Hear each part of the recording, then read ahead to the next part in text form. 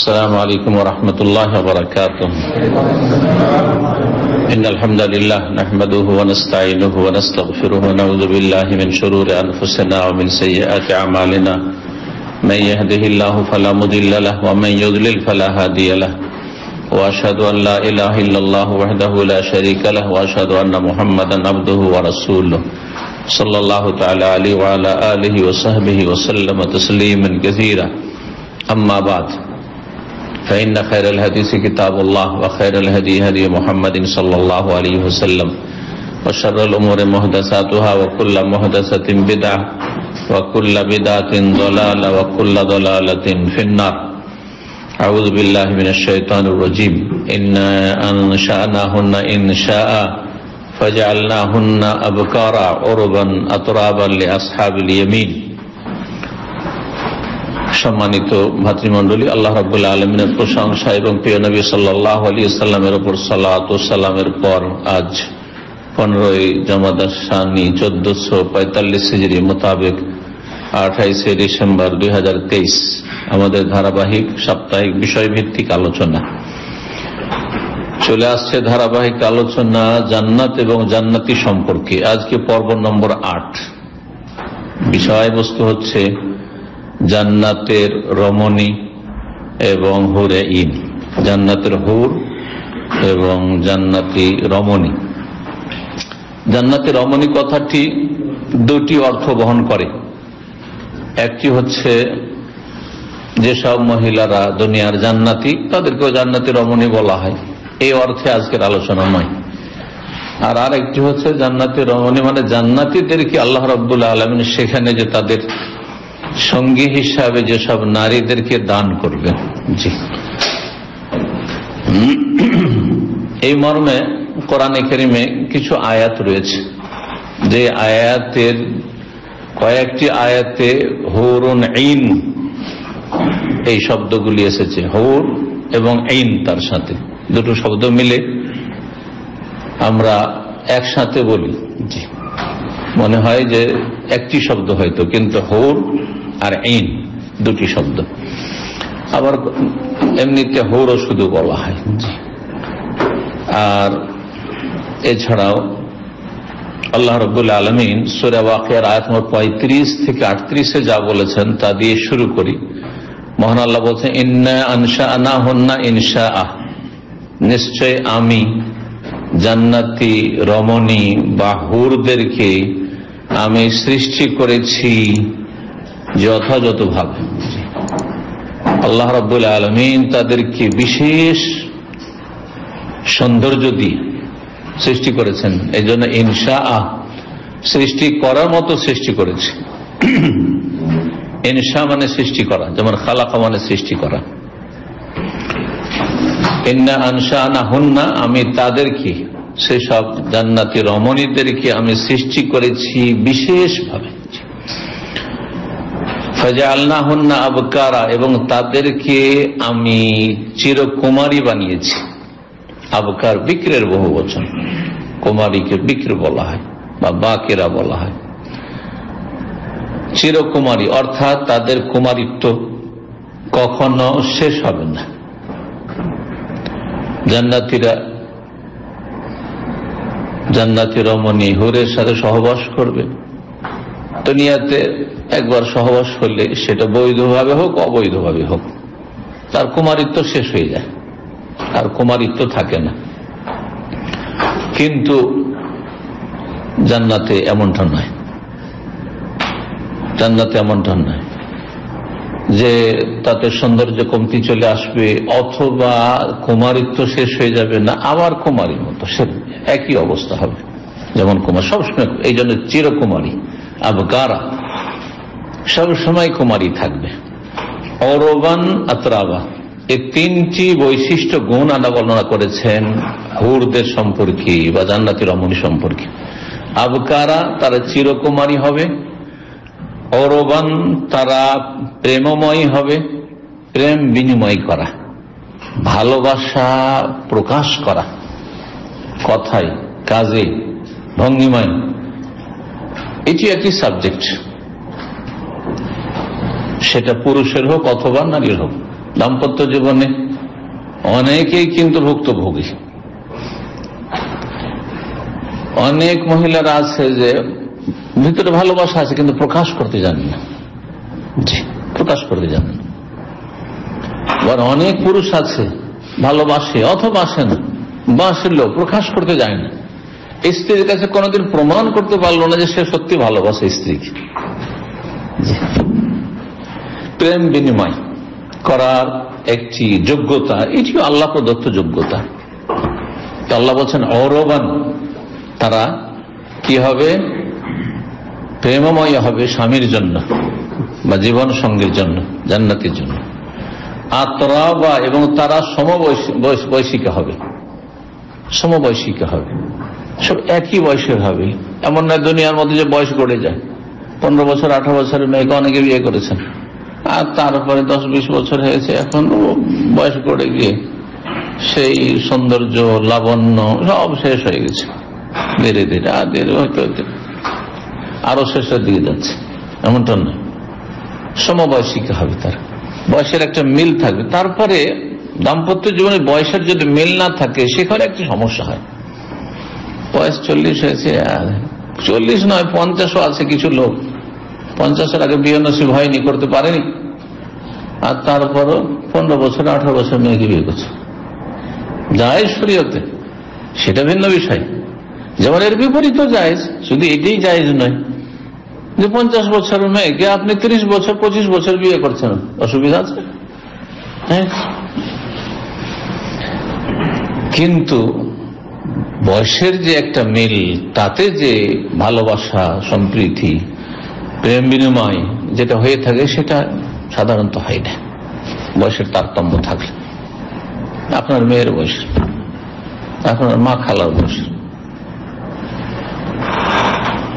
ওই রকমটা হবে না যেমনটা এক, দুই বছর, পাঁচ বছরের কম বেশি অথবা সমবয়স্ক। সব একই বয়সের হবে। জান্নাতের রমণীরা সব একই বয়সের হবে। এই নয় যে দুনিয়াতে বিভিন্ন রকম, বিভিন্ন স্তরের মেয়েরা আছে, কেউ যুবতী আছে, তো কেউ তিরিশ কেউ চল্লিশ, কেউ পঞ্চাশ ষাট সব রকম আছে, তাই না? তার বয়স গড়েও যাচ্ছে।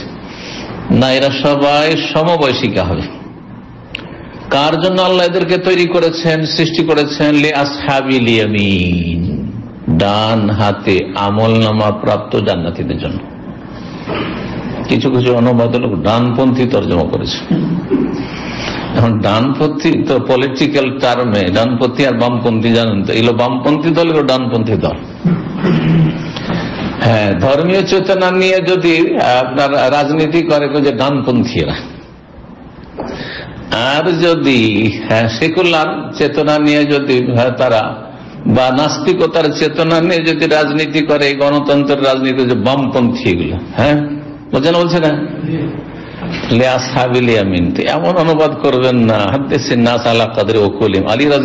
আল্লাহ থেকে মানুষের সাথে কথা বলার সময় লক্ষ্য রাখিও যে তাদের জ্ঞান বুদ্ধি কতটা গ্রহণ করতে পারে। ডান বলতে বলতে গিয়ে তো রাজনৈতিকের অভ্যাস। না, এই দল নয় ওই দল। ওই রাজনৈতিক টার্ম না বুঝে নেয়। এই জন্য আমি এমন অনুবাদ করলাম ডান হাতে আমল নামা প্রাপ্ত জান্নাতিদের জন্য। বুঝতে অসুবিধা আছে? তরজমা থেকে আপনার বোঝা হয়ে গেল মাসলা, আসল বিষয়। যারা ডান হাতে আমল নামা পাবে। ডান হাতে আমল নামা কারা পাবে? ডান হাতে যারা আমল নামা পাবে তাদেরকে কোরআনের তিন শ্রেণি যখন করা হয়েছে জান্নাতি, তখন তারা দুই ভাগে, এক হচ্ছে মোকারবিন আল্লাহর সান্নিধ্য প্রাপ্ত একবারে হ্যাঁ শ্রেষ্ঠ বান্ধা যারা। সিনিয়র জান্নাতি যারা। ভিআইপি জান্নাতি যারা।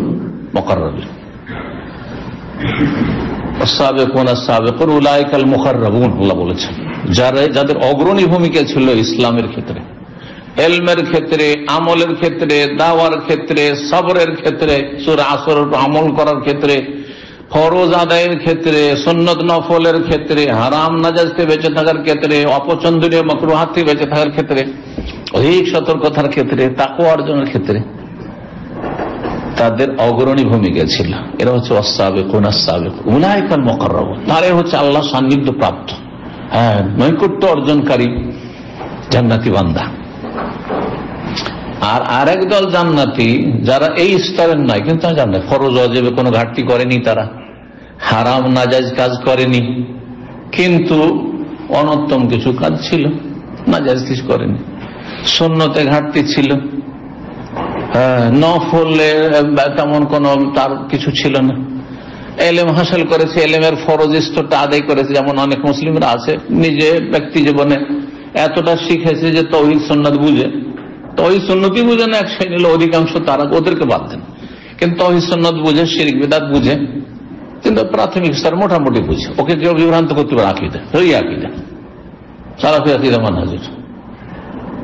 আর ফরজ অজব আদায় করে, প্রতিদিন ফরজ নামাজটা পড়ে। ফরজ রমজান রোজা রাখে। কিন্তু সন্ন্যত নফল তেমন নেই। জাকাত দেয়, কিন্তু দান সাদকা নেই। তারা আসাবুল ইয়ামিন। দুটো দল জান্নাতি। আর দুই দলই কিন্তু ডান হাতে আমল নেওয়া পাবে। কিন্তু তারপরেও দুটো স্তরে পার্থক্য রয়েছে। এরা সকলেই, এরা হোর জান্নাতের অমনি প্রাপ্ত হবে। আর একদল হচ্ছে আসাবু শেমালে মা আসাবু শেমাল। বামপন্থী মানে এমন লোকেরা যারা বাম হাতে আমল নামা প্রাপ্ত হবে। হাসর মাঠে হিসাব নিকাশ হলো বাম হাতে এসে পেছন দিক থেকে আমল নামা পেল। জাহান্নামি তারা। জাহান্নামি আবার দুই ভাগে বিভক্ত। স্থায়ী জাহান্নামে না হয় অস্থায়ী জাহান্নামে যারা অস্থায়ী জাহান্নামে জাহান্নামে জ্বলবে জ্বলবে, যখন জান্নাতে আসবে ক্লিন হয়ে, তখন তারা হুর পাবে, তারা নিম্ন শ্রেণির জান্নাতি। যদি সেখানে সে অনুভূতিটা থাকবে না, কারণ সে অনুভূতি থাকলে তার মনোকষ্ট থেকে যাবে। আর জান্নাতে কোনো কষ্ট নেই। বরং যা মন তাই সবার জন্য কিন্তু, জান্নাতে চলে যাওয়ার পরে। যেন সেখানে সেটা বুঝতে পারবে না। দুনিয়ায় বুঝতে পারছেন এই জন্য মনোকষ্ট আছে। যে মাসাল্লাহ আমার মতো লেখাপড়াও করেনি কেউ, অযোগ্য। তারপরে মাসে পাঁচ হাজার, দশ হাজার ইনকাম করছে। আর আমি এক হাজারই হ্যাঁ ঠিকভাবে বেতন পাই না। মনে কষ্ট হবে না? স্বাভাবিক কষ্ট হবে অশিক্ষিত। আর আরামে এসে, এসিতে বসে বসে ডিউটি করছে। আর আপনি শিক্ষিত মানুষ, আপনাকে রোদ্রে কাজ করে বেড়া বেড়াতে হচ্ছে। মনোকষ্ট দুনিয়া আছে। স্বাভাবিক। ইচ্ছা করে হোক, অনিচ্ছা করে কিন্তু আসবে অটোমেটিক আসবে। জান্নাত ওইটা নেই। কেউ সেটা অনুভবই করবে না। যতই নিচে থাক না কেন, জি। এ হচ্ছে জান্নাতের বৈশিষ্ট্য। আলাকুম ফিহা মাতাস্তাহি আনফুসকুম। তোমাদের মন যা চাইবে জান্নাতে, তাই তোমরা সেখানে প্রাপ্ত হবে। তাই পাবে। তো এই ছিল কোরআন করিমের আয়াত, জান্নাতি হুর বা রমণীদের সম্পর্কে। জি। জান্নাতে যেসব নারীদেরকে দেওয়া হবে জান্নাতিকে তাদেরকে দুই ভাগে ভাগ করা যায়। এক হচ্ছে আপনার দুনিয়াতে যে স্ত্রী ছিল, সে ইমানদার ছিল, আর নেকামল করেছে, আর তারপর জান্নাতের সে অধিকারী হয়েছে, জান্নাতের হকদার হয়েছে, আপনার সাথে জান্নাতে আছে। একজন থাকতে পারে, যাদের একজন আছে, মিসকিন একজনই পাবে। আমরা সেই ক্যাটাগরি তাই না? হ্যাঁ। কারণ আমরা ভীত। আর আজকাল ভয় করতে বাধ্য। এমন নয় যে যে বিয়ে করতে পারেন সে বীর বাহাদুর খুব। কারণ আজকালকার যুগে ভয় করাটাই হচ্ছে হ্যাঁ, অধিক নিরাপদ। কারণ কার এই ভয় নেই? গত বৃহস্পতিবারে আজকে তো বৃহস্পতিবার তাই না? গত মঙ্গলবার তাহলে যে কাতিক দাওয়া সেন্টার ছিল একজন আরব শেখ এসছেন। আর দায়ীরা শেখের এক জায়গায় হইলে বহু বিবাহের মশলাটা উঠে সাধারণত উঠে। কথা বুঝতে পারছেন? আর আরব আরব শেখের আর আরব পাবলিক হইলে তো বুঝতেই পারেন এটা খুব ইন্টারেস্টেড বিষয় একটা ইস্যু হ্যাঁ? খুব মানে যেটাকে বলা হচ্ছে খুব হ্যাঁ, মজার স্বাদের একটা ইস্যু হ্যাঁ বিষয়বস্তু টপিক তো একজন প্রশ্ন করেই ফেলল শেখকে একজন দায়ী। বিয়ে সম্পর্কে যে বিয়ে তো আল্লাহ দুই দিয়ে শুরু করেছে, তো আসল তো হচ্ছে দুই, তিন, চার করা উচিত। তো শেখ বলছে যে ওটা আজকালকার জমানে নেই। আজকাল ভয় করাটাই হচ্ছে আসল। দুটো, তিনটে, চারটে সামলাইতে পারব নাকি হিমশিম খাব, ভয় করাটাই হচ্ছে আসল। শুনে রাখেন ভালো করে। যাদের একটু হ্যাঁ ভিতরে কি সুরসুরি আছে বিয়ে করার জন্য, দুটা, তিনটা, এখন শখ আছে। আর এটা যৌবন চলে গেলে শেষ হয় না। এটা আর আমি অভিজ্ঞতা বলছি। এবং যে অভিজ্ঞতাগুলি অলমাইকরামগণ নকল করেছেন, বয়স যত বাড়বে, তত বেশি বিয়ে করার ইচ্ছা হবে। এটা মনে হয় কোনদিন শোনেননি। আপনার বিশ, পঁচিশ বছর বয়সে যখন বিয়ে করেছেন, বিয়ে করার পরে কিন্তু দ্বিতীয়, তৃতীয় বিয়ের সাধারণত মন চায়নি। এটা বেশি মন চায়, উদ্গ্রীব হয় মানুষ বিয়ে করার জন্য, দুটো, তিনটে, চারটা, কখন জানেন? চল্লিশ পার হয়ে গেলে। চল্লিশ পার হলে তখন শখ উঠবে কারণ তখন একটু পকেটটা গরম হয়েছে ইনকাম করতে করতে। আর তখন মন মেজাজ তৈরি হয়েছে। হ্যাঁ। এটা প্রাকৃতিক বিষয়, শুধু পকেট গরম না হইল।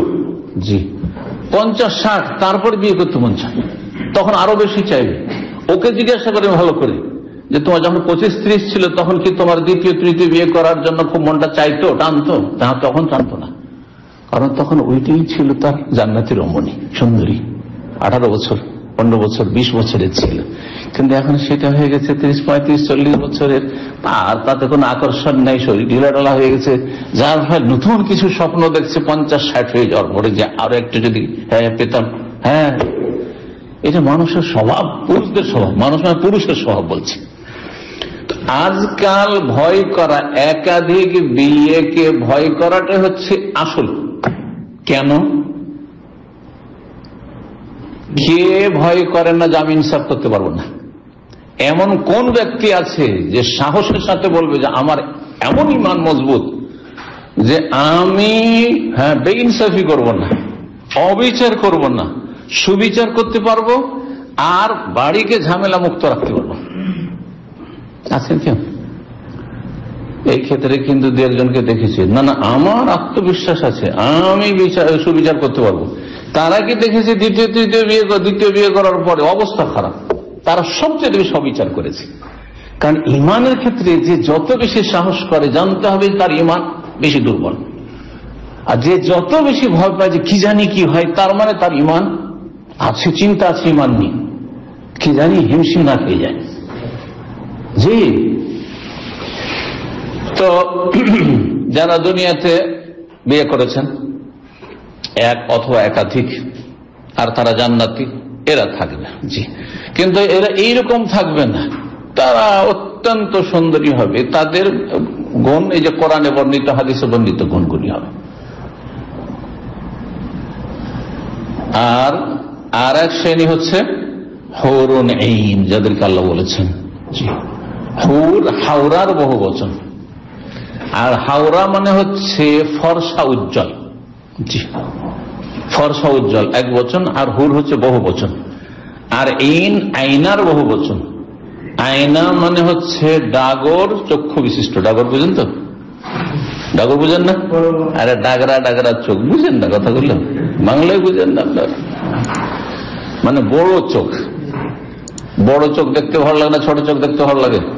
পুরুষ হোক আর নারী হোক বড় চোখ ভালো লাগে না ছোট চোখ? এই ছোট ছোট চোখ দেখতে ভালো লাগবে না। যতই চামড়া সুন্দর হোক, ছোট চোখ আল্লাহ মানুষকে দেখতে ভালো লাগে না। কিন্তু যত বড় চোখ হবে, তত দেখতে ভালো লাগবে। আর বড় চোখের ভিতরে যদি ওই যেটা রঙিন অংশ, সাদা সাদা ভিতরে কালো যে আছে, সেটা যত বেশি কালো হবে, তত সুন্দর লাগবে। যত বেশি কালো হবে, তত বেশি সুন্দর লাগবে। অনেকে কালো থাকে না। জি। তো হৌরুন আর এইন এ দুটো শব্দের সমষ্টি থেকে কি বেরোলো যে এত সুন্দরী রমণী আল্লাহ দেবেন, যারা অত্যন্ত ফর্সা উজ্জ্বল হবে, আর কি হবে? এই বড় চক্ষু বিশিষ্ট হবে। বড় চোখ দেখতে ভালো লাগে সৌন্দর্যের বাস্তব প্রমাণ, আর রং ভালো লাগে। এই জন্য যাদের হ্যাঁ দেশে সাদা ফর্সার সুন্দরী দেখে অভ্যাস নেই। আরব দেশে যখন আসে, আরে, তখন কত কি ভাবে হ্যাঁ? আরব দেশের মহিলাদেরকে যখন দেখে বিশেষ করে আরব দেশের মধ্যে লেবানন, সিরিয়া, জর্ডন মেসর এইসব দেশের আমরা আর তারা চেহারা করলেও ঘোরাফেরা করে হ্যাঁ সৌদি আরবের মতন নয়, সাধারণত বেশিরভাগই চেহারা করে আল্লাহ রায় করে সবাইকে। তো অনেকে ফেতনা পড়ে যায়। চোখের গোনায় লিপ্ত হয়ে যায়। কার জীবনে দেখেন এত সুন্দর জীবনে দেখেনি তখন চোখের গোনায় লিপ্ত হয়ে যায়। আল্লাহ রব্ব রক্ষা করুন। তো এই দুই রকম জান্নাতি রমণী দেওয়া হবে। মহান আল্লাহ সুরের রহমানে এই বিষয়ে আরও এরশাদ করেছেন। সুর রহমানের দুই জায়গায় রয়েছে। এবং আল্লাহ রব্বুল আলমী তাদের গুণাবলী বর্ণনা করেছেন। জান্নাতিদের এবং জান্নাতিদের রমণীদের আল্লাহ বলছেন সুর রহমান আতম ছাপ্পান্ন থেকে আটান্নতে ফিহিন এই জান্নাতে যে জান্নাতে রমণীরা হবে তারা হবে হ্যাঁ, দৃষ্টি অবনমিত। কাসের উত্তর মানে দৃষ্টি এদিক সেদিক হ্যাঁ ঘোরাবে না। এদিক সেদিক তাকাবে না তারা বরং স্বামী ছাড়ার কারও দিকে তাকাবে না। এটি হচ্ছে নারী জাতির সতীত্বের বৈশিষ্ট্য যে সতী নারী পরেজগার নারী চরিত্রবতী নারী, স্বামী ছাড়া কাউকে বোঝে না। যতই দুনিয়ার হ্যাঁ সুন্দর ব্যক্তি চলে আসুক, সুঠাম ব্যক্তি চলে আসুক, কখনো তাকাবে না তার কাছে তার স্বামী যতই কুৎসিত হোক না কেন বাস্তবে, সে হচ্ছে তার কাছে কিং। জি, সবচেয়ে পৃথিবীর সুন্দর মানুষ। এটা হচ্ছে সতীত্বের বৈশিষ্ট্য। মানে নজর, আর কাসের মানে সীমিত, নজরকে সীমিত রাখবে, সীমাবদ্ধ রাখবে। নিজ স্বামীত নিজ যুগল, জড়ি, জোড়া আল্লাহ জান্নাতে দেবেন। ইতিপূর্বে কোন মানুষ বা জিন তাদেরকে স্পর্শ করেনি। দুনিয়ার নারীদের সম্পর্কে বিয়ে করছেন, তারপরও নিশ্চিত গায়েব আল্লাহ ছাড়া কেউ জানে না। গায়েব আল্লাহ ছাড়া কেউ জানে না কেউ স্পর্শ করেনি না করেছে কতটা করেছে? কিন্তু আবার এই অশ্বাসাতে ভুগিয়েন না না হলে এতে আপনার ঘুম হারাম হয়ে যাবে দুনিয়ার শান্তি হারাম হয়ে যাবে। যে আল্লাহ ভাগ্যের জটিল বলেন, আলহামদুলিল্লাহ। আপনি যদি ভালো থেকে থাকেন, আশা করি ভালোই পেয়েছেন আর যদি আপনার চরিত্রে পদস্খলন ঘটে থাকে, তাহলে আপনার স্ত্রীর চরিত্রে পদস্খলন ঘটতে পারে, আপনার পানিশমেন্ট স্বরূপ। আপনি যখন সৎ চরিত্র নিয়ে আপনার স্ত্রীর কাছে যেতে পারেননি আপনি খেয়াল করেছেন তাহলে আপনার স্ত্রী যদি করে থাকে তাহলে আপনারটা যদি আল্লাহ মাফ করেন আপনার স্ত্রীটা আল্লাহ মাফ করবেন না? আল্লাহ রাহেম। তবা করলেই হলো সংশোধন করলেই হলো। এই জন্য নিজে সবসময় সচ্চরিত্র অধিকারী হন। যেই ব্যক্তি সাধারণত ভালো মানুষ সাধারণত এটা হচ্ছে সাধারণ কথা ব্যতিক্রম সব ক্ষেত্রে রয়েছে। ব্যতিক্রম দুনিয়াতে সবকিছুতে আছে।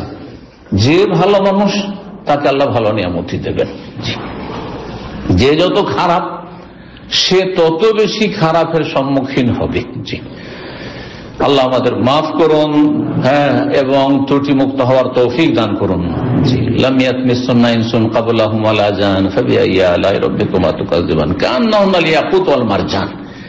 তারা এত সুন্দরী হবে, এত সুন্দরী হবে যে তাদেরকে দেখে ইয়াকুত আর মারজানের মনে হবে দেখি। ইয়াকুত কে বলা হয় পদ্মরাগ। মারজান প্রবাল। এগুলি মূল্যবান হ্যাঁ ধাতু। জি। যেগুলি আমরা নামগুলি শুনেছি আর যারা দেখেছেন তারা দেখেছেন। খুব স্বচ্ছ হ্যাঁ, মূল্যবান সুন্দর। এবং তাতে কারিগর যত সুন্দর হবে পারদর্শী হবে তত তার সৌন্দর্য বেড়ে যাবে এইসব ধাতুগুলোর। আল্লাহ রাবুল্লাহ সবচেয়ে বড় কারিগর। আহকামুল হাকিমি আল্লাহ রাবুল রহমানের আত্ম সত্তর থেকে বাহাত্তরে এরশাদ করছেন, এই হুরদের সম্পর্কে বা জান্নাতি রমণীদের সম্পর্কে। ফিহিন্না খায়রাতুন হেসান। সেখানে উত্তম চরিত্রের অধিকারিনী এরা থাকবে। হেসান, খায়রাত মানে তাদের চরিত্র হবে খুব উৎকৃষ্ট চরিত্র, উত্তম চরিত্র। এটা হচ্ছে আভ্যন্তরীণ গুণ, পুরুষ হোক আর নারী হোক। আভ্যন্তরীণ গুণ যদি না থাকে, আর শুধু রূপ চেহারার গুণ থাকে, কোনো ফায়দা নেই।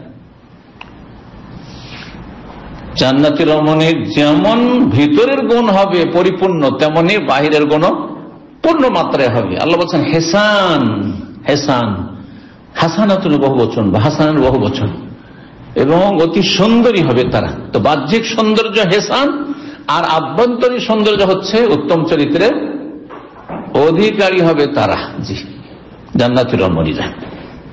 যার স্ত্রী দেখতে খুব সুন্দর, কিন্তু ভাষা, নোংরা ভাষা। একটু কোনো কথা হইলে আর কি মুখ ছুটে গেল, বন্ধ করা মুশকিল। ভিতর খারাপ, জবান খারাপ, আখলাখ চরিত্র খারাপ। কষ্ট দেয় স্বামীকে, কষ্ট দেয় শ্বশুর শাশুড়িকে, কষ্ট দেয় পাড়া প্রতিবেশীকে। শান্তিতে আছেন? সুন্দর চামড়া নেই না, কোনো শান্তিতে নেই। কোনো শান্তি নেই। এর বিপরীতে যদি হয়, তো অনেকটা ভালো। পুরো ভালো না হইল। দেখতে সুন্দর না, কালো। হ্যাঁ খাটো, ইত্যাদি। শারীরিক সৌন্দর্য কিছু নেই, কিন্তু ভিতরটা এত ভালো। বাইরে যা দেখছেন ভিতরে দেখছেন, অন্তর সাফ। আখলাখ চরিত্র বলতে হবে না, বিনয়ী। স্বামীর সামনে উচ্চস্বরে কখনো কথা বলবে না। কত শান্তিতে আছেন। হ্যাঁ কালো মানুষকে নিয়ে এটা হচ্ছে আসল। এটা হচ্ছে আসল দুনিয়াতে। এই জন্য নবী সালার বিদাত দিন। দিনকে পছন্দ করে, দিনদার মহিলাকে, স্ত্রীকে, দিনদার স্ত্রী গ্রহণ করে তুমি সফল যে তাতেই সফলতা আসলে। দুনিয়াতে আসল সফলতা সেই। তো আল্লাহ বলছেন, সেখানে ফিহিন্না খায়রাতুন হেসান। উত্তম চরিত্রের অধিকারী হবে আর সুন্দরী কুমারীরা হবে। হেসান, সুন্দরী, চিরকুমারীরা হবে। সবে আইয়া আলাই রব্বে কত কাজ তোকাজ দেবেন তারা কারা? বলছে, হৌরুন। এখানে শুধু হুর বলা হয়েছে। অন্য আয়াতের আছে হৌরুন আইন কামসারিল্লু হৌরুন, তারা অতি সুন্দরী হবে। হৌর মানে সুন্দরী, ফর্সা। ফর্সা উজ্জ্বল হবে তার, তাদের নাম হোর পড়ে গেছে এই জন্য মানুষের কাছে। মাকসুর আতন ফিল খেয়াম, তারপরে যদি সুন্দরী হয়, আর যেখানে সেখানে শুধু ঘুরে বেড়ায়। শহরে শহরে, দোকানে দোকানে ইউনিভার্সিটি কলেজ যেখানে সেখানে পার্কে খালি ঘুরে বেড়ায়। তাহলে এই সৌন্দর্যের কোনো মূল্য থাকবে? সৌন্দর্য সবাইকে ফিরি ফিরি বিতরণ করে বেড়াচ্ছে। ঠিক কিনা? ফিরি বিতরণ করে বেড়াচ্ছে। বেহায়, বেপরদা মহিলারা। আল্লাহ বলছেন, না না না না, এরা না এদেরকে কেউ দেখবে না। মাকসুর আতুন ফিল খেয়াম। এরা খেমায় তাবুতে এরা লুকায়িত রয়েছে। তাঁবর ভিতরেই তারা সীমাবদ্ধ রয়েছে। কারও দৃষ্টি তাদের উপর পড়েনি। না কোনো মানুষ, না কোনো জিন। হরুল মকসুর আতুন ফিল খেয়াম। সহি বখারি দুই হাজার সাতশো ছিয়ানব্বই নম্বর হাদিস। হাদিস নবী সাল্লাম এই হাদিসে বলছেন লওয়ান্না ইমরাত মিন আহলিল জান্নাত ইফতালাত এলাল আরদে। জান্নাতি কোন রমণী এত সুন্দরী হবে আর এত নিয়ামতে ভরপুর হবে। সেই রমণী হোর হোক আর আপনার স্ত্রী হোক, যদি, আর মূলত এখানে হোরের কথা বলা হচ্ছে যাদেরকে আল্লাহ সৃষ্টি করেই রেখেছেন। যদিও যখন আপনার, আমার স্ত্রী যখন জান্নাতে চলে যাবে, তখন সেই বৈশিষ্ট্য সে হ্যাঁ হাসিল করবে। সেই বৈশিষ্ট্যগুলি হাসিল করবে। কিন্তু এখানে মূলত হুরদের সম্পর্কে বলা হচ্ছে, জান্নাতি কোন একজন রমণী ইমরাতামিন আহলি জান্নাত। তাহলে বোঝা গেল হুর হচ্ছে স্ত্রীলিঙ্গ। এখানে একটি কথা ভালো করে আকিদার কথা বুঝে রাখেন। কারণ এই ক্ষেত্রে বড় একজন ব্যক্তি বিভ্রান্তির শিকার হয়েছে। আর অনেক হ্যাঁ দুনিয়ার শিক্ষায় শিক্ষিত লোকদেরকে বিভ্রান্ত করেছে। যে হুরের কোন হ্যাঁ কি নেই? লিঙ্গ নেই। মানে পুরুষও বলা যাবে, নারী বলা যাবে না। একেবারে হ্যাঁ ভ্রষ্ট। জি, অবাস্তব কথা। কোন ভাষার এই কথা বলেনি কোন মহাদেশে কথা বলেননি। এই জন্য ইমরা তারা নারী হবে। এটা কেন তিনি বলেছেন?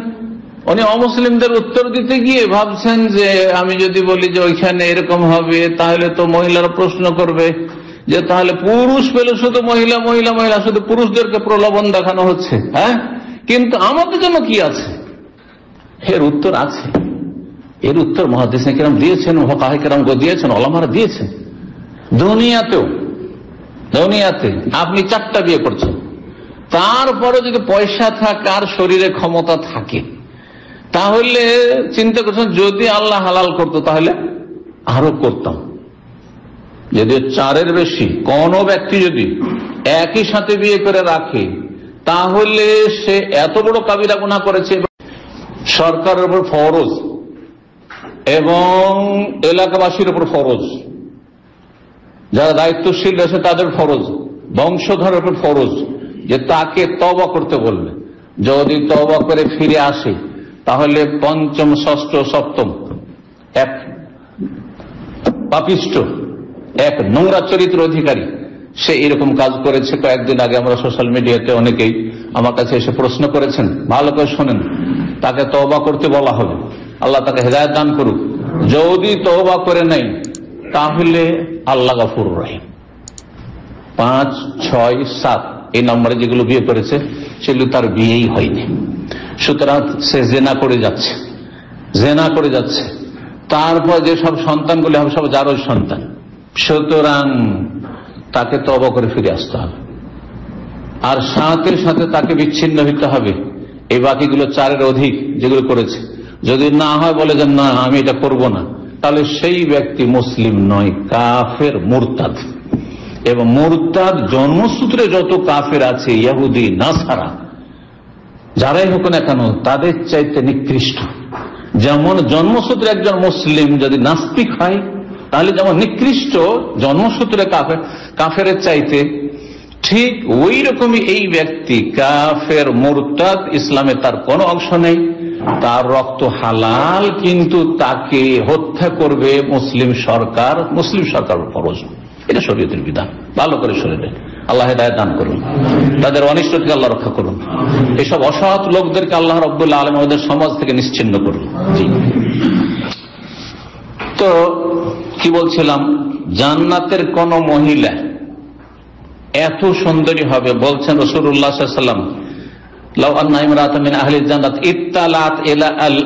পৃথিবীতে একবার যদি উকি মেরে দেখে, বেশি নয়, শুধু একটু উকি মেরে উকি মেরে কোনখান দিয়ে দেখে? ছোট্ট একটা ছিদ্র, একটু উকি মেরে দেখছে। ছোট্ট ছিদ্র দিয়ে। জান্নাত থেকে যদি পৃথিবীর দিকে একবার একটা উকি দেয় আসমান জমিনের মাঝে সারা পৃথিবী আলোকিত হয়ে থেকে যাবে। আলোকিত উজ্জ্বল হয়ে থেকে যাবে। এবং সুগন্ধিতে সারা পৃথিবী যতগুলি মহাদেশ রয়েছে, সাগর মহাসাগরের জল স্থল রয়েছে, সব সুগন্ধিতে গ্রানে ভরপুর হয়ে যাবে। আল্লাহ সুগন্ধিময় হয়ে যাবে।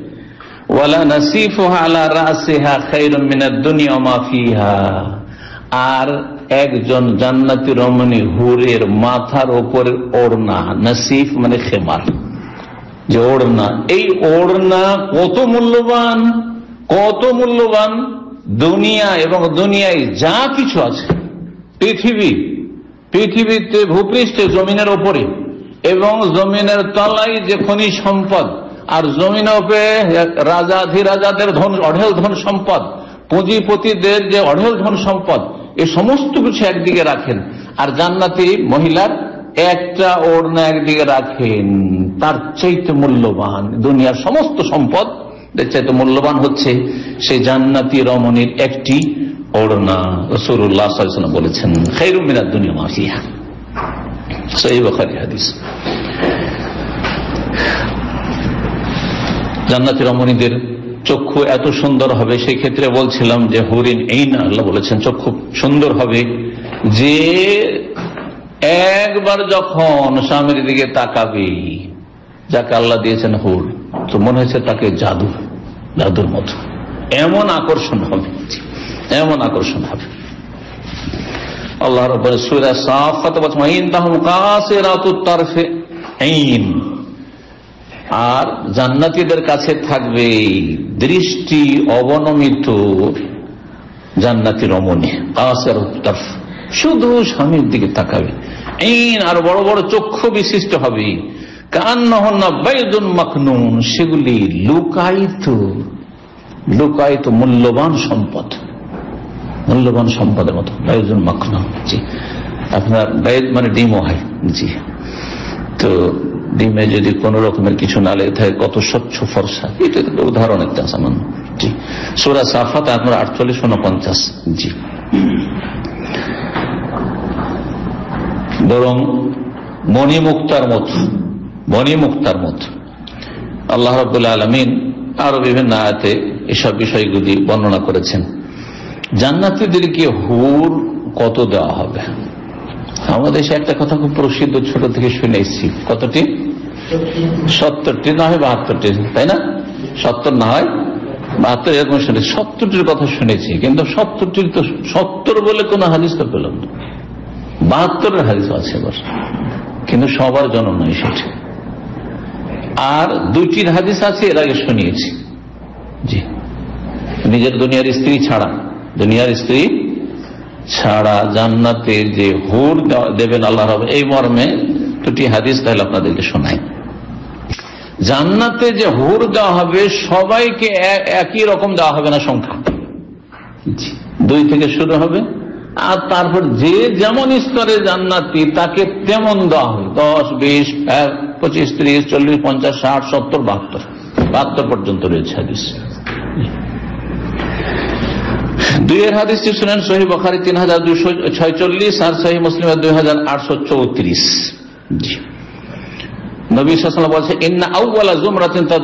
সর্বপ্রথম যেই দলটি জান্নাতে প্রবেশ করবে, তাদের সুরত, রূপ, চেহারা কেমন হবে? আলা সুরাতিল কামার, লাইলাতাল বাদর। পূর্ণিমার রাতের চাঁদের মতো তারা সুন্দর হবে। দুনিয়াতে সুন্দর ছিল না। কদাকার কুৎসির কালো ছিল। জি।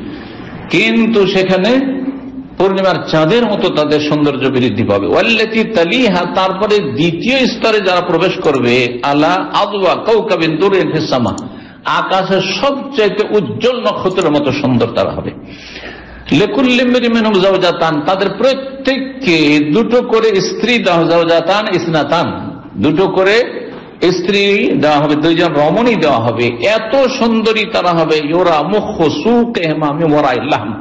গোস্ত, মানুষের চামড়ার নিচে কি আছে? গোস্ত আছে। গোস্তের নিচে চামড়ার নিচে হাড্ডি আছে না চামড়ার নিচে গোস্ত আছে? চামড়ার নিচে হাড্ডি আছে বলছে। হ্যাঁ গোস্ত আছে আর গোস্তের ভিতরে হাড্ডি আছে। হাড্ডি কি দেখা যায়? আর যদি দেখা যায় দুনিয়াতে হাড্ডি, তো দেখতে ভালো লাগবে না কঙ্কাল লাগবে? দেখতে খারাপ লাগবে। কিন্তু জান্নাতে খারাপ লাগবে না, এটা একটা সুন্দর হবে এত স্বচ্ছ, এত সুন্দর হবে যে ওইটি একটি বড় নিয়ামত হবে। তো বলছেন যে গোস্তের ভিতরে যে হাড় হাড্ডি রয়েছে, সেটা দেখা যাবে। দেখা যাবে। আর বলছেন অমাফির জান্নাতে আজাব আর বলছেন রসুল্লাহ জান্নাতে কেউ সঙ্গীহীন থাকবে না। দুনিয়াতে অনেকে আছে, বিয়ে করতে পারেনি, অথচ বিয়ে করেছে, কিন্তু তালাক নিয়ে নিয়ে চলে গেছে, ব্যর্থ হয়েছে। অথবা বিয়ে করেছে আর মারা যাচ্ছে, তখন আর ওকে কেউ বিয়েই করতে চাই না। জি। বিভিন্ন অবস্থা দুনিয়াতে। তো অবিবাহিত অনেকে আছে। অনেকে বিয়ে করেছে যেমন প্রবাসীদের হ্যাঁ যে কষ্টের জীবন আল্লাহ ধৈর্য ধারণে তৌফিক দান করেন গোনা থেকে বাঁচিয়ে রাখেন এবং উত্তম প্রতিদান বিনিময় আল্লাহ দুনিয়া আখেরাতে দান করেন। এটি বড় সবরের বিষয়, বড় ধৈর্যের বিষয়। স্ত্রী থেকে দূরে থাকা। অমাফিল জান্নাতে আজাব আপনারা এখানে অবিবাহিতদেরকে আরবরা কি বলছে? উজ্জাব। শোনেন না উজ্জাব? আজুবি ওদের ভাষা আজুবি হ্যাঁ আর উজ্জাব বহু বচন। উজ্জাব করে বলে। আজেবের বহু বচন, উজ্জাব শুদ্ধ আরবিটি কিন্তু। অমাফিল জান্নাতে আজাব জান্নাতে কেউ অবিবাহিত থাকবে না। বা স্ত্রী ছাড়া থাকবে না, সঙ্গীহীন থাকবে না। আপনি সমুদ্র বিচে এখানে দামামের তিন দিকে তো সমুদ্রতে ঘুরতে যান, তো কেউ স্ত্রী সহ ঘুরছে? আর মিসকিন একা একা ঘুরছে না ঠিক না পার্কে গেল দেখবেন হ্যাঁ দেশে গিয়ে হয়তো কোনো সময় একাই গিয়েছেন সব তো জোড়া জোড়া, হালাল হোক আর হারাম হোক। হ্যাঁ অল্প কিছু হালাল নিয়ে ঘুরছে, আর বাকি সব হারাম নিয়ে জোড়া জোড়া ঘুরছে। বলছো আখালাক নাকুম হাজওয়াজা আল্লাহ যে জোড়া জোড়া পয়দা করেছে, এই জন্য জোড়া নিয়ে ঘুরছে। লুচ্চা গুলো চরিত্রহীনগুলো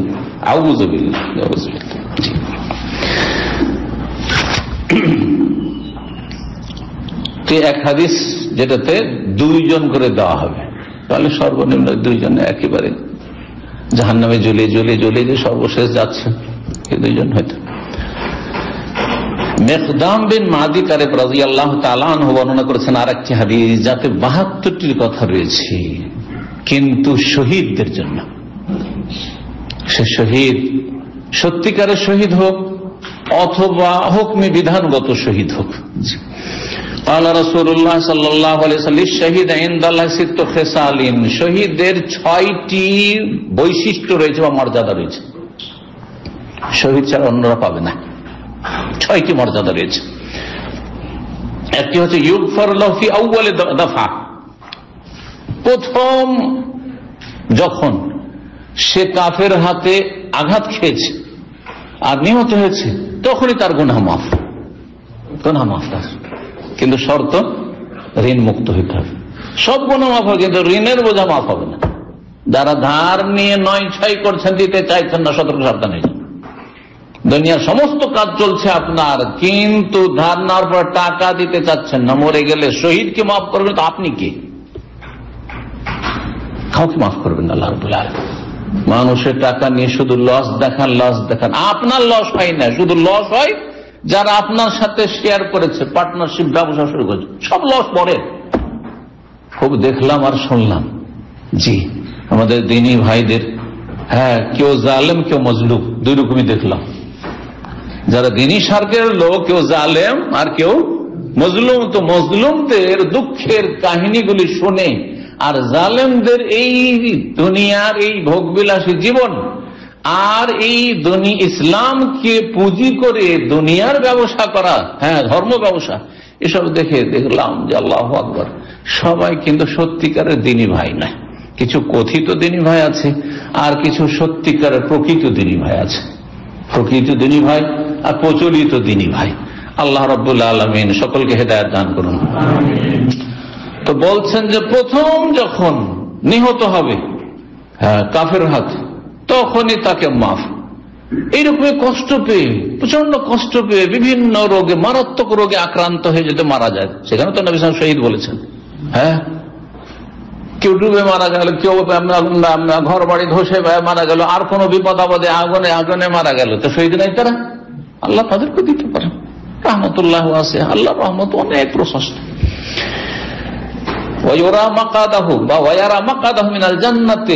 আর জান্নাতে তার স্থান দেখিয়ে দেওয়া হয়।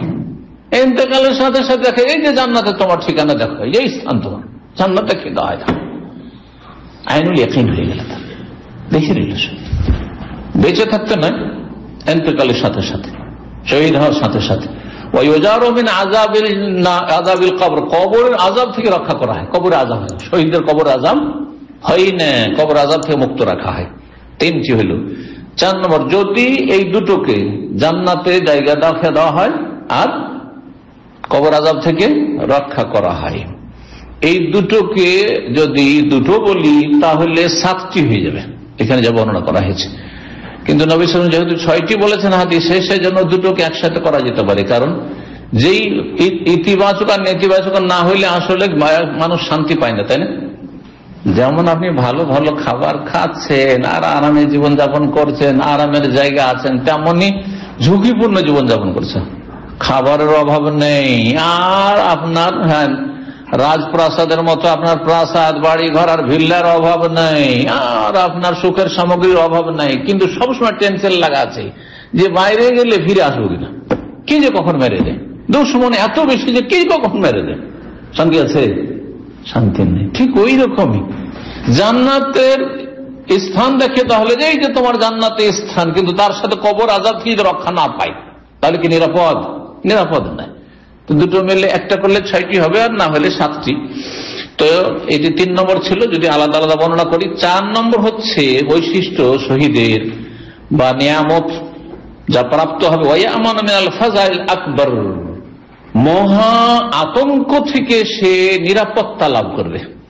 মহা আতঙ্ক হচ্ছে মহাদিবসের আতঙ্ক, কেয়ামতের। কেয়ামতের দিন যখন পৃথিবী ধ্বংস হবে, আর হাসর মাস কায়েম হবে, আর নফসি নফসি করবে, এমনকি আমি কেরাম নফসি নফসি করবেন। জি, কেউ কারও জন্য সুপারিশ করতে সাহস করবেন একমাত্র রসুল্লাহ সাল্লাহ আলী সাল্লামের কাছে যখন সমস্ত মতের লোকের আসবে যে তাতে যাতে হিসাব হয়ে যায় আমাদের এই কষ্ট আর এই বিবাহ যাতে করে দূরীভূত হয়, তখন তিনি বলেন আনাল্লাহ এই বৃহৎ সাফাত আমারই এই হক, আমি করব। আল্লাহ রব্বের কাছে গিয়ে সেজদায় লুটিয়ে পড়বেন। তো সেটি হচ্ছে মহা আতঙ্কের দিবস। জি।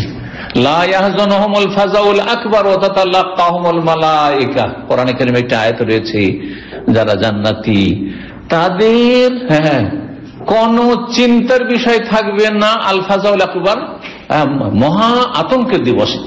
হাসর মাঠে কোনো চিন্তা নেই। ফালাহন আলিম আলহাজানুন কোনো চিন্তা নেই, কোনো ভয় নেই। চারিদিক থেকে ফেরেস তারা এসে তাদেরকে ওয়েলকাম করবে, অভিবাদন জানাবে। এই দিবসে তোমাদের সাথে প্রতিশ্রুতি করা হয়েছে। এইখানে কিছুক্ষণ আর তারপরেই জান্নাত। তোমাদের কোনো চিন্তা নেই। আল্লাহ আল্লাহ আমাদেরকে জান্নাতুল ফিরদৌস দান করেন।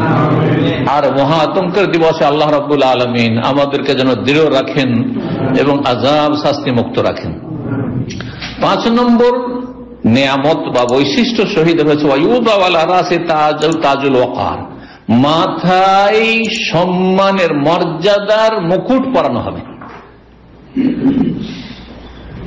বড় মর্যাদার, উঁচু মর্যাদার কি পরা হবে?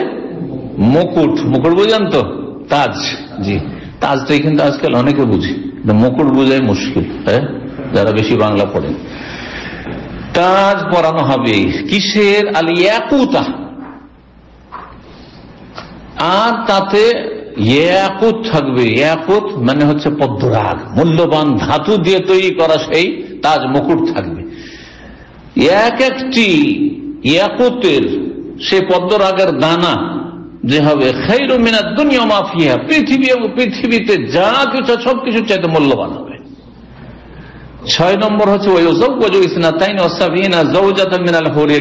আর তার হ্যাঁ বিবাহ করিয়ে দেওয়া হবে। বাহাত্তরটি হরে ইনের সাথে। বাহাত্তরটি হরে ইন দেওয়া হবে। আল্লাহ রাস্তার শহীদ কি? সাত নম্বর বৈশিষ্ট্য হচ্ছে আর সত্তর জন নিকট আত্মীয়র সে সুপারিশ করার অধিকার লাভ করবে, হক লাভ করবে। সত্তর জনের সে কি করবে? সুপারিশ করবে। আল্লাহ রবাহ আলম যেন আমাদেরকে এই মর্যাদাগুলি দান করে। মুসনাদ আহমদের হাদিস, তিরমিজি, ইবিন মাজা হাদিসটি রয়েছে আল্লাহ আলবানি আলবানী হাদিসটিকে সহিউল জামের পাঁচ হাজার একশো বেরাশি নম্বর হাদিস হাদিসটিকে সহি বলেছেন। জান্নাতি রমণীদের যেমন বাহ্যিক বৈশিষ্ট্য হ্যাঁ হবে মানে অকল্পনীয়, যেমনটা বললাম, অতি সুন্দর, সুন্দরী হবে, ঠিক তেমনি আখলাক চরিত্র হবে, সর্বোচ্চ সুন্দর আখলাক চরিত্র অধিকারিণী তারা হবে। সুরা রহমানের আয়াতের আগে পড়েছি হিন্না খায়রাতন হেসান। সেই আয়াতটি এখানে বলা যেতে পারে। এবং তাদের আচার আচরণ অত্যন্ত ভালো হবে। নিজ নিজ স্বামীর সাথে। স্ত্রী যদি ভালো হয়, নেক হয়, আর যদি সচ্চরিত্র অধিকারিণী হয়, তাহলে কি যে শান্তি বাড়িতে? বাড়িতে ঢুকলেই শান্তি। আর যদি খারাপ চরিত্রের হয়, বদমেজাজ হয়, যদি ভাষা খারাপ হয়, আখলাখ চরিত্র খারাপ তাহলে বাইরে থাকতেই ভালো লাগবে। বাইরে থাকতেই ভালো লাগবে। আমাদের সব বক্তারা হ্যাঁ আমাদের সুর সার করে গজল টজল, সুর সারের আওয়াজ আর সুর সারের গজল, আর এসব ছন্দ বলেই তো মানুষকে আকর্ষণ আকর্ষণ করে, তাই না? তো বলে যে খালি পায়ে, শুনেছেন কোনদিন এটা? খালি চলা, পায়ে চলা ভালো, কষা জুতা যার আর বিদেশেতে থাকা ভালো দুষ্টা নারী যার। শুনেছেন না, শোনেননি কোনদিন? এসব বয়স শোনেননি? ওই শুধু আউলিয়ার কেরামত আর শিরিক বেদাত পীর মদির কিচ্ছা কাহিনী শুনেছেন।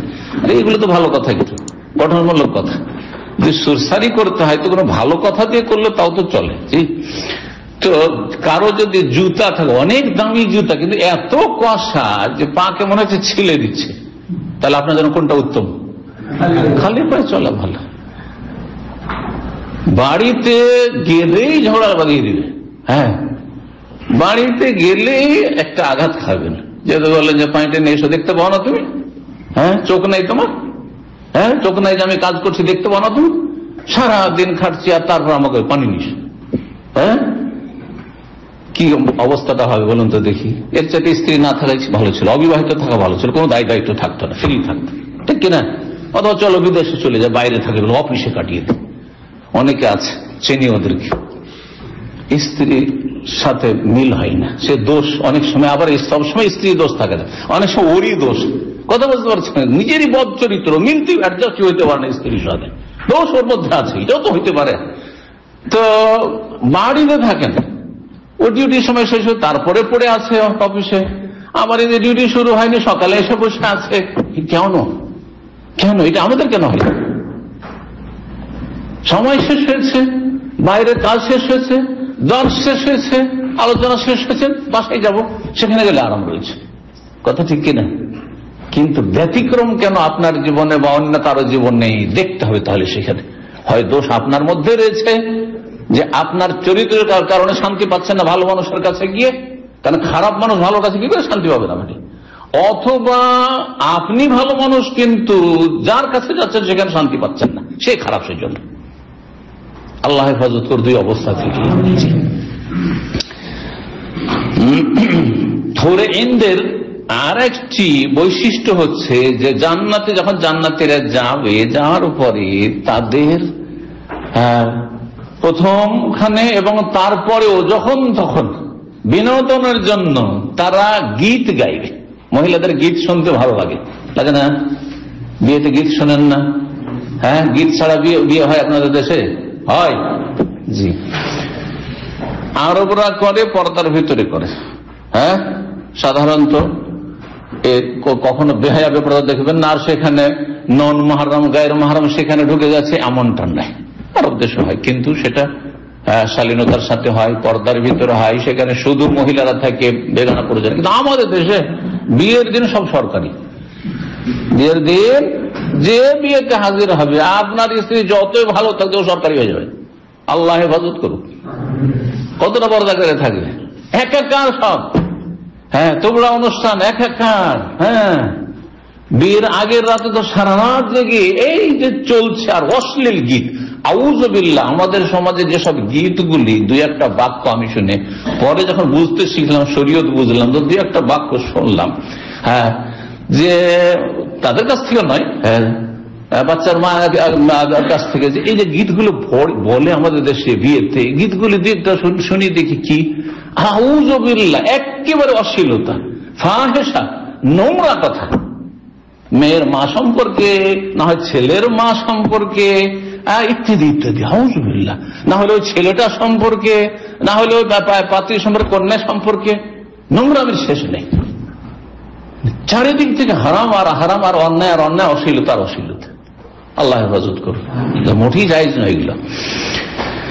তো যদি সংযত ভাবে হয় যে মহিলা মহিলাদের মধ্যে আছে, সেখানে কোন পুরুষ প্রবেশ করতে পারবে না। আর সেখানে কিছু আমোদ ফুর্তি একটু করল। কোনো অসুবিধা নাই। আনন্দের দিন, খুশির দিন। তো যাই হোক, জান্নাতে হুরে এনরা, জান্নাতি রমণীরা গীত গাইবি। জি, গান, সংগীত, গীত গাইবে। এবং স্বামীদেরকে আকৃষ্ট করবে। নিজ নিজ স্বামীকে আকৃষ্ট করবে। এ মর্মে হাদিস রয়েছে, শোনাই। দুটি হাদিসে রয়েছে আর আরেকটি হাদিস রয়েছে যেটা আমাদের দেশের বক্তারা বেশি মুখস্থ রাখে, হাদিসটি সহি নয়, জয়ীশ। যে হাদিসগুলি সহি, সেখানে, এখানে পেশ করছি। বলছেন রসুল্লাহ সাল্লাম ইন্না আজওয়াজ আহলিল জান্নাতিন আজওয়াজ আহন জান্নাতি রমণীরা জান্নাতে তাদের স্বামীর সামনে গীত গাইবে। বেআহাসানে আসওয়াতিন স্বামী আহাদ জীবনে যেন আপনি প্রথম শুনছেন এত সুন্দর হ্যাঁ তার কণ্ঠ আর আওয়াজ। জীবনে এরকম আওয়াজ শুনি, এত সুন্দর আকর্ষণীয় আওয়াজ হবে। জি। আর যেসব গীতগুলি গাইবে, বলছেন যে, ইন্না মিম্মা ইয়োগান্না বিহি যেসব গীতগুলো গাইবে, তার একটি হচ্ছে, নাহনো খাইরুল হেসানে আজওয়াজ কমিন কেরামে ইয়ানজরনা বেকুরাতে আয়ানি অনুবাদ বলি বলছে, নাহানো খাইরুল হেসানে আমরা হচ্ছে সবচাইতে উৎকৃষ্ট সুন্দরী রমণী। উৎকৃষ্ট সুন্দরী রমণী। আজওয়াজ কাদের জন্য? আজওয়াজ কমেন কিরম সম্মানিত ব্যক্তি বর্গের স্ত্রী হিসাবে আমরা, জীবন সঙ্গিনী হিসাবে আমরা। আল্লাহর পক্ষ থেকে তারা প্রাপ্ত হয়েছে।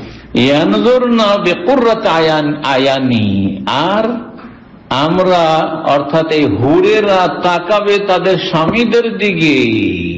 এমন দৃষ্টিতে যাতে চক্ষু শীতল হবে, যাতে চক্ষু শীতল হবে, যেটা চক্ষু শীতলকারী হবে।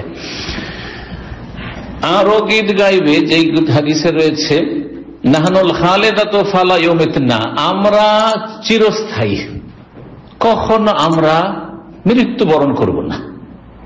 দুনিয়াতে যতই সুন্দর স্ত্রী হোক, আর যতই উত্তম চরিত অধিকারিণী হোক, একটা সবসময় টেনশন লাগাচ্ছে একটু অসুখ হইলে স্ত্রী অসুখ কখন যে মরে যায়? আর মরে গেলে আমি কি করে সংসার চালাবো? কি করে সামলাবো? হয় না হয় না? যদি এরকম পরিস্থিতি হয়, তখন খুব চিন্তা শুরু হয়। যদি সত্যি ওই রকম গুণের অধিকারী স্ত্রী হয় এইরকম স্বামী একটু অসুস্থ হইলে স্ত্রী টেনশন শুরু হয়ে গেছে যে, হাই, কি করে আমি কি করব যদি দুনিয়া থেকে চলে যায়? তাহলে আল্লাহ। সেখানে তারা গীত গাবে, নাহানুল খালেদাত, আমরা চিরস্থায়ী। এবং চিরকুমারী ফেলায়মিত না কুমারী হয়ে থাকবে, বয়স গড়বে না। মরে যাওয়া তো দূরের কথা, মরণ তো সেখানে নেই। নাহনুল আমেনা ফালা ইয়াকাফ না আমরা হচ্ছি সার্বিক দিক থেকে নিরাপদ, স্বামীর জন্য।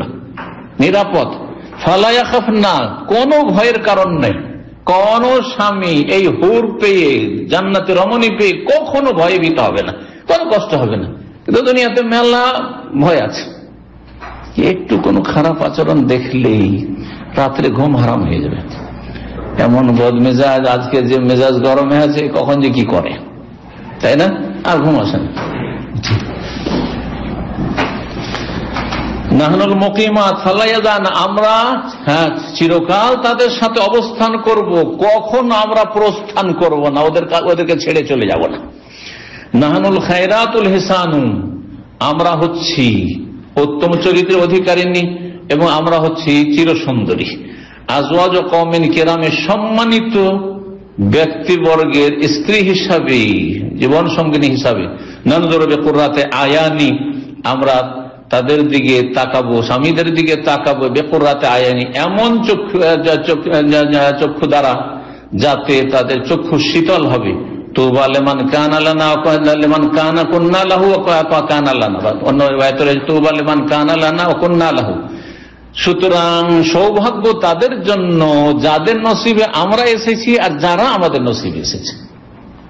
সৌভাগ্য ওদের জন্য, যাদের ভাগে আমরা এসেছি আর যারা আমাদের ভাগে এসেছে। ইমাম তবরানি রহমাহুল্লাহ তার মৌজামুল আউসাতে বর্ণনা করেছেন হাদিসটি চার হাজার নয়শো সতেরো নম্বর হাদিস সহিউল জামের পনেরোশো একষট্টি নম্বর হাদিস আল্লাহ আলবানী হাদিসটিকে সহি বলেছেন। আর একটি ছোট কাল থেকে আমরা যখন ওয়াজ শুনতাম, জান্নাতের ওয়াজ, তখন শুনতাম, নাহানুল খালেদা তো ফালা ওই যে জাল জয়ীফ হইল একবার অত্যন্ত দুর্বল, কিন্তু মুখস্থ কেন হয়েছে? ছোট থেকে শুনেছি। আরে ওস্তাদের কাছে, ওস্তাদেরও তো অনেকে সহি সহি বুঝতো না। মাদ্রাসায় পড়েছে ওই মুখস্থ বেরিয়েছে মিসকাতে আছে হাদিসটি। নাহানুল খালেদা তো ফালানা বেদু নাহানুল নায়মা তো ফালানা আসু নাহানুর রাজিয়া তো ফালানা খাতু তু বালেমান কানালানা কন্যা ছোটকালে যেগুলো মুখস্থ করেছি যে পাথরের নকশার মতো হয়ে আছে।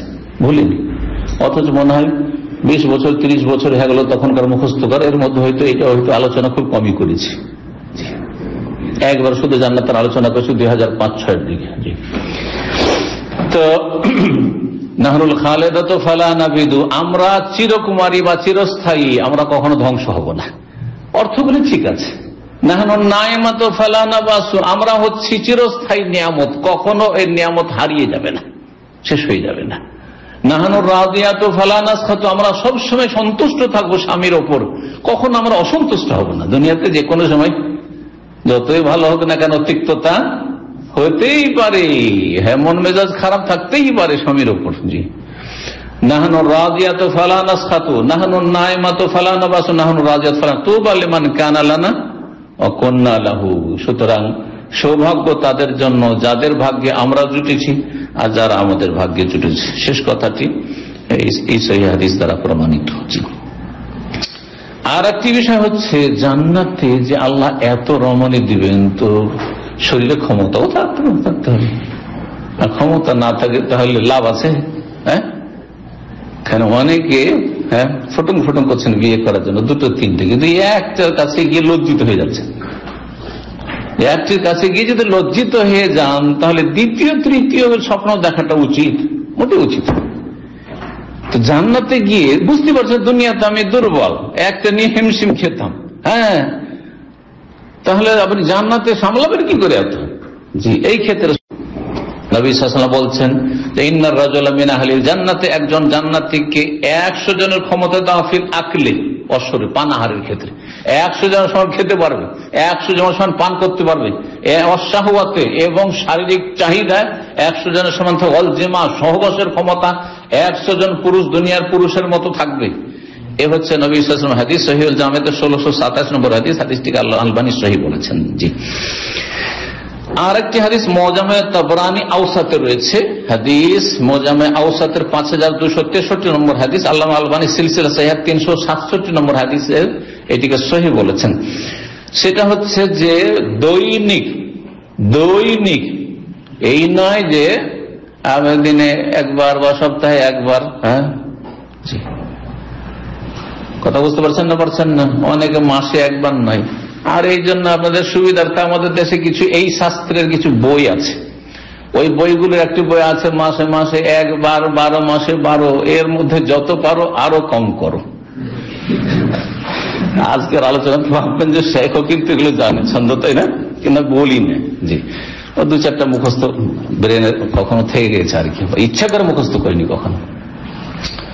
তো না না না, এরকমটা হবে না সুফহান তো আল্লাহ রব্বন জান্নাতে এত নিয়ামত রেখেছেন। আবু রাজি আল্লাহ তালাম থেকে বর্ণিত বলছেন রসুল আল্লাহ জিজ্ঞাসা কর রসুল্লাহ হে আল্লাহ রসুল হ্যাল নাসর এনে সাইফেল জান্নাতে? জান্নাতে আমরা দৈনিক স্ত্রীর কাছে বা জান্নাতি হুরের কাছে যেতে পারব? কারণ দুনিয়া তো বুঝতে পারছেন দুনিয়াতে হয়তো কেউ তিন দিন, চার দিন, পাঁচ দিন, সপ্তাহে একবার, আরও কম বেশি। তো আমরা কি পারব জান্নাতে ডেলি এই জান্নাতি রমণী বা হুরদের কাছে পৌঁছিতে মানে তাদের সাথে সহবাস করতে? তাহলে বল হ্যাঁ। একজন জান্নাতি পুরুষ, জান্নাতি ব্যক্তি একদিনে একশো জন কুমারীর কাছে যেতে পারবে। একশো জন কুমারীর কাছে যেতে পারবে। জি। এই হচ্ছে হাদিস যে হাদিসটি বললাম আল্লাহ আলবানী সহি বলেছেন। জি। আর একটি নিয়ামত জান্নাতের কারণ দুনিয়াতে যে সব বিষয়গুলি ভোগ করেছেন জান্নাতে খেয়াল আসতে পারে। আসবে স্বাভাবিক আসবে। তার মনটা চাইতে পারে। মনটা চাইতে পারে। যারা বড় বড় পয়সাওয়ালার খুব আয়স আরামের জীবন যাপন তারাও কিন্তু একটু ঘরের আশেপাশে শাকসবজি করছেন কৃষি কাজ করছেন। করছেন না? শখ করে ওর কি প্রয়োজন আছে? এত চাকন্য করাছে হ্যাঁ খরিদ করার পয়সার অভাব নেই, তারপরে কি করছে? ইউরোপে গেলে দেখবেন আমি তো ইংল্যান্ডে গিয়ে দেখেছি, প্রত্যেক বাড়িতে প্রত্যেক বাড়িতে ছোট্ট একটি কি আছে? জায়গা আছে, পেছন দিকে, বাড়ির পেছনে যে জায়গাতে সমস্ত শাকসবজি আছে। লাউ তো ভেন্ডি তো অমক, তমক সবকিছু করছে সেখানে। অথচ ছোট্ট জায়গা। হয়তো আমাদের দেশে হিসেবে দুই কাটা জায়গা হবে না। দুই কাটা জায়গার ওর বাড়ি। বাড়ি আছে, তার মধ্যে আরও বাড়ির পিছনে আবার শাকসবজি চাষ করার জন্য ব্যবস্থাও আছে। প্রত্যেক বাড়িতে আছে। ওই সিস্টেমে করা আছে। তো মানুষ দুনিয়াতে ছেলে মেয়ে হয়েছে হ্যাঁ ভালো লেগেছে ছেলে মেয়ের হওয়ার আনন্দ তখন চাইবে। চাইবে ছেলে মেয়ে হোক তাহলে দেবে না? আল্লাহ বলেছে ওয়ালাকুম ফিহা মাতাসতে যেমন চাইবে তাই পাবে। তো যদি কারও মনে হয় যে, আল্লাহ, যদি আমার বাচ্চা হইতো জান্নাতে, তো বাচ্চা হবে না? বলছেন রসুল্লাহ এই মর্মে জান্নাতে। কোন মমিন বান্দা জান্নাতে যদি কোন সন্তান সন্ততি চাই কান হামলহু ওয়াদহু ওয়াসিন্নহু ফি সাতিন জি। ওয়াহিদা কামা ইস্তাহি যে তার গর্ভধারণ এবং বাচ্চা প্রসব আর তারপরে সেই বাচ্চা বড় হওয়া হ্যাঁ। এই জাফি ওয়াহিদা এক ঘণ্টার ভিতরে হয়ে যাবে। কিছুক্ষণ এক ঘণ্টা মানে তখনকার যুগে চোদ্দশো বছর ষাট মিনিট এক ঘণ্টা চল না। মুহূর্তের মধ্যে কিছুক্ষণের মধ্যে হয়ে যাবে। সাতুন ওয়াহেদা মানে কিছুক্ষণের মধ্যে হয়ে যাবে। কামাই আসলে যেমনটা চাইবে, এখনই চাই। এখনই আমি বাচ্চা চাই, সাথে সাথে বাচ্চা, দুই বছর, তিন বছর, চার বছর কেমন চাই, যেমন চাও তেমন। হাদিস মুসনাদ আহমদের রয়েছে, তিরমিজিতে রয়েছে। সহি সোনা তিরমিজি দুই হাজার সাতাত্তর নম্বর হাদিস। তা হাদিসটি সহি আর একটি বিষয়, সেটা হচ্ছে যে জান্নাতে ধরেন গেলেন আপনি, কিন্তু আর আপনার স্ত্রী আপনার মতো আপার লেভেলে আসতে পারেন অনেক নিচে পড়ে থেকে গেল। জান্নাতে গেছি কিন্তু ওই নিচে পড়ে আছে। আর আপনার ছেলে মেয়েরা আরও অবাঞ্ছিত। কোন রকম জান্নাতে গেছে কিন্তু অনেক নিচে। তাদেরকে দেখা শেখাতে হবে না? সেটা আর এক মনোকষ্ট তাহলে। যদি একই দেশে থাকেন, অনেকে আছেন, এখানে ছেলেদেরকে নিয়ে চলে এসছেন কাজকর্মে, তাই না? বা ভাই বেড়াদর আছেন, কিন্তু দাম মামের নেই। ও কই একজন জেদ্দা আছে একজন আবহা জিজানে আছে, কখন দেখাবে? তোমরা আয় তো ওখানে দেখা। তা কষ্ট আছে না? কিন্তু সবসময় যদি একই সাথে থাকতে পেতেন ছেলেকে নিয়ে, জি, কিন্তু এই ক্ষেত্রে এক শ্রেণির লোকদের বাড়াবাড়ি আছে। আমাদের দিনী বাদে অনেকে বাড়াবাড়ি আছে। এক লোক এখানে ছিল, তার ছেলেকে নিয়ে এসছে। গিয়ে জুবাইলে থাকতো, সে আমার দার্সে এখানে আসতো। আর সে তার ছেলেকে বড় লোক করে বসিয়ে রেখেছে, আর সময় তিনবার পাকশাক করে ছেলেকে খাওয়াচ্ছে। আমাকে বলছে, সাহেব, চলে যেতে হবে, কারণ ছেলেটা আছে, পাকশাক করতে হবে। ছেলে আছে, পাকশাক করতে হবে আপনাকে? হ্যাঁ আমাকে পাক করতে হবে। ছেলে পাকশাক জানেন না। আপনি শিখা? না, ও শিখাবে না। এত আদর এত আদর, ও তো মাথায় চড়ে নেবে। তো লাত্তি মারবে ওই ছেলে। যে ছেলে বসে বসে বাবুর মতো খাবে অথচ তার পঁচিশ বছর বয়স বা বাইশ বছর বয়স, তাকে শিখাবেন না, পাকশাক শিখাবেন না, আপনি ট্রেনিং করেন তাকে। তার উচিত সে পাক করবে আপনি বসে থাকবেন, আপনি বসে বসে খাবেন। হাউজুবিল্লাহ। এই জন্য অশান্তি আমাদের দেশে, জি। আল্লাহ হেদায়ত দান করুন। জান্নাতে যখন উঁচা নিচা হয়ে যাবে, তখন আল্লাহ নিচে রাখবে না নিচের গুলোকে ওপরে পাঠিয়ে যা, চলে যা, তোর বাপের কাছে চলে যা। ওখানে চলে যান যা স্ত্রী নিচে চলে গেছে, একটি স্ত্রীর ওপরে চলে গেছে, স্বামী নিচে পড়ে গেছে। একসাথে মিলিত হয়ে যায় ওপরে গিয়ে, নিচে নাই এই মর্মে হাদিস রয়েছে এবং আয়াতও রয়েছে।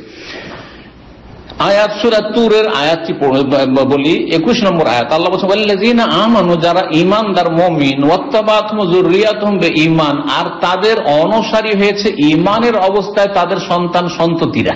মানে তারাও মমিন, মুসলিম ছিল। তাহলে তাদের সকলের ইমান ঠিক ছিল, তৌহিদ ছিল সন্না ছিল, ফরজ অজেব ছিল, সবাই জান্নাতি হয়েছে, কিন্তু উঁচে, উঁচা, নিচা হয়ে গেছে মর্যাদা। আল্লাহ বলছেন আল্লাহ তাদের ছেলে মেয়েদেরকে জান্নাতীদের সাথে মিলিত করে দেবো, একই স্তরে পৌঁছে দেব। তাদের আমলের কিছু ঘাটতি করে দেব না। হ্যাঁ যে ওপরে গেছে, ওর আমল ঘাটতি করে নিচে নামিয়ে যা তোর ছেলেদের কাছে থাক, ওই নিচে যা এমনটা করব না। বরং নিচে যারা আছে, নিম্ন শ্রেণীতে আছে, তাদেরকে আপার শ্রেণি থেকে মিলিয়ে দেব, আল্লাহ বলছেন। শেষ একটি বিষয়, একটি হাদিস বলে শেষ করে দেব, সেটা হচ্ছে, দুনিয়াতে যে সব খারাপ স্ত্রীরা বদচরিত্রের স্ত্রীরা স্বামীদেরকে কষ্ট দেয়, তাদেরকে হুরে ইনরা কি বলে সম্বোধন করে শোনেন। এই মর্মে মহাজিবিন জবাল্লাজি আল্লাহ তালা বর্ণিত হাদিস রয়েছে রসুল্লাহ বলেন, লা তুজি ইমরাতুন জাহাফির দুনিয়া। কোন মহিলা যদি স্বামীকে পার্থিব জগতে দুনিয়াতে কষ্ট দেয়, কথার দ্বারা, কাজের দ্বারা, আচার আচরণে কষ্ট দেয়, স্বামীকে যখন তখন কষ্ট দেয় মানসিক, শারীরিক, যে কোনো কষ্ট দিক না কেন। তখন যখন এখানে কষ্ট দেয়, তখন হুরে ইন তো আল্লাহ সৃষ্টি করে রেখেছেন জান্নাতে আছে রেডি হয়ে আছে তারা তখন বলতে থাকে, সেই হুরেইন স্ত্রী বলতে থাকে, লা তুজি, এই অবাঞ্ছিত মহিলা, এই খারাপ মহিলা, বদচরিত্র মহিলা তুমি স্বামীকে কষ্ট দিও না কাতালা কেল্লা আল্লাহ তোমার সর্বনাশ করুক। হুয়া তোমার কাছে সে সাময়িক অতিথি। তোমার কাছে মাত্র কয়েকদিনের জন্য টেম্পোরারি আছে। এলাই খুব তাড়াতাড়ি দ্রুতই তোমার কাছ থেকে সে জুদা হয়ে, পৃথক হয়ে চলে আসবে আমাদের কাছে। তখন আর তাকে পাবে না, সুতরাং কষ্ট দিও না। আল্লাহ রব্বুল আলম যেন আমাদেরকে দুনিয়াতেও শান্তি দান করেন, আখেরাতেও শান্তি দান করেন, জান্নাতে আল্লাহ রব্বুল আলম নিয়ামত ভরা জান্নাত যেন দান করেন। আল্লাহ রব্বুল আলম আমাদেরকে ইমান আমলের উপর যেন বহাল রাখেন, আর সমস্ত রকমের গুমরাহি থেকে আল্লাহ বাঁচিয়ে রাখেন, বালা মুসিবত থেকে আল্লাহ দুনিয়াতে বাঁচিয়ে রাখেন, আর বালা মুসিবতকে আল্লাহ যেন দূর করে দেন। রোগ, বালা মুসিবত, মোমেন, মুসলিম ভাই বোনদের রয়েছে, তাদের পরিবার রয়েছে, আল্লাহ তাদেরকে শেফায় কামেলা দান করুন করুণ আফিয়া দান করুন। وصلى الله وسلم على نبينا محمد وعلى آله وصحبه أجمعين.